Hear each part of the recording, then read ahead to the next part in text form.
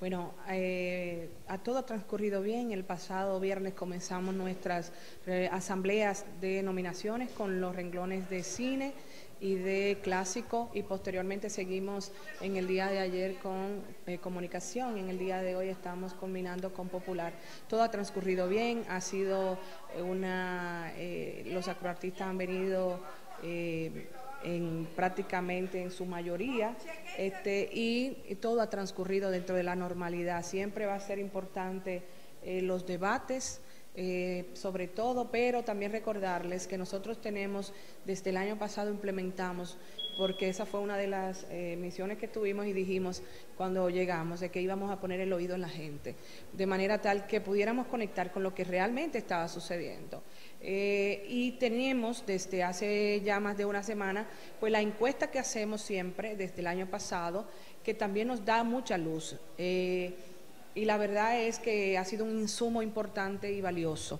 Eh, creo que tenemos una gran selección. En el día de mañana la daremos a conocer a partir de las 10 de la mañana. Invito a todos los dominicanos y a todos los medios a unirse a través de las redes de Premio Soberano y también de Acroarte, que estaremos reproduciéndolo y pues creo que aquí escogimos lo que realmente impactó, lo que realmente sobresalió y a todos los artistas que deben estar el próximo 19 de marzo en Premio Soberano 2010. Que realmente impactó, lo que realmente sobresalió y a todos los artistas que deben estar el próximo 19 de marzo en Premio Soberano 2019.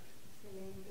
Mencionabas, Emily, el tema de las encuestas, que realmente ha habido bastante acogida este año, igual que el año anterior. Así es. Hay nombres que indudablemente suenan mucho en la opinión popular, pero son personas que quizás por el tema de sus letras no han sido considerados en años anteriores.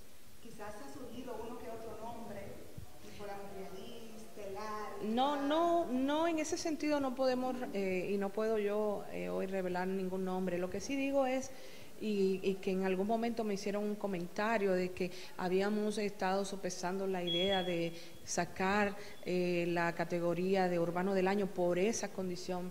Yo creo que eh, Acroarte nunca se habló ni se manifestó en ese sentido, es totalmente incierto.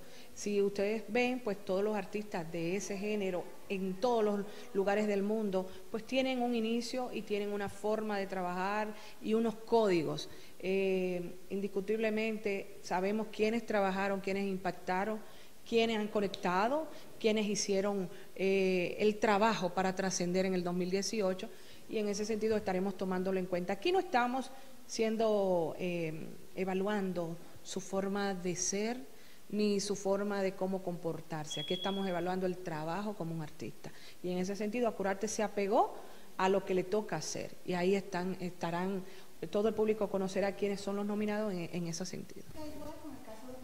Sigue, sigue la misma política, o sea, eso fue una resolución que determinamos en Acroarte eh, y sigue esa misma política. estamos muy contentos con eh, la aceptación de Milagro, todo el mundo habla de ella y ustedes no se imaginan lo que está preparando producción para esa noche. Sabemos que va a ser un regreso por todo lo alto de ella, de nuestra diva, y que esta producción de los 35 años pues se llenará de majestuosidad y de lo que ella es y de lo que impregna de ese profesionalismo. No que los otros eh, comunicadores y presentadores que hemos tenido no han hecho su trabajo. Sin embargo, en el caso de ella eran 15 años de ausencia y yo creo que el público disfrutará eso eh, la próxima noche del 19 de marzo.